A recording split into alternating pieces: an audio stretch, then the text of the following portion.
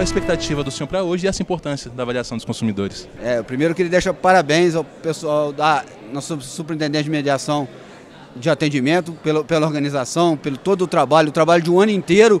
É, hoje é só a entrega do prêmio, mas esse trabalho é o trabalho do ano inteiro de medir o, o real é, o real satisfação do consumidor com aquele serviço que é, que é o objetivo do todo do setor elétrico, é entregar a energia elétrica com qualidade na casa do consumidor.